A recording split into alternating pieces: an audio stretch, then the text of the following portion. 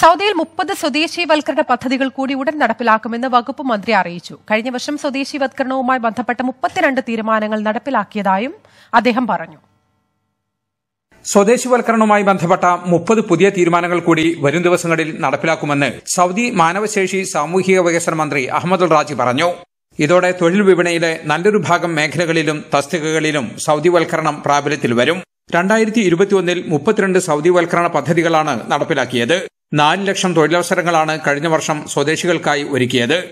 ഇതുവഴി സൗദി പൌരന്മാരായ പതിനേഴായിരം എഞ്ചിനീയർമാർക്കും പതിനാറായിരം അക്കൌണ്ടന്റുമാർക്കും മൂവായിരം ഡെന്റിസ്റ്റുകൾക്കും ആറായിരം ഫാർമസിസ്റ്റുകൾക്കും തൊഴിലവസരങ്ങൾ ഉണ്ടായി തൊഴിൽ വിപണിയിൽ സ്വദേശികളുടെ എണ്ണം പത്തൊമ്പത് ലക്ഷം കവിഞ്ഞു.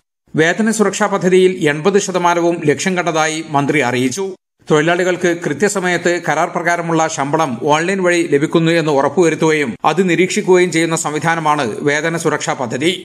അതേസമയം സൗദിയിൽ ആഴ്ചയിൽ നാല് ദിവസത്തെ പ്രവൃത്തി ദിവസവും മൂന്ന് ദിവസത്തെ അവധിയും നടപ്പിലാക്കുമോ എന്ന ചോദ്യത്തിന് ഇതേക്കുറിച്ച് പഠിച്ചു വരികയാണെന്നും വിദേശ നിക്ഷേപകർക്ക് അനുകൂലമായ എല്ലാ സാഹചര്യങ്ങളും ഒരുക്കുമെന്നും മന്ത്രി മറുപടി പറഞ്ഞു.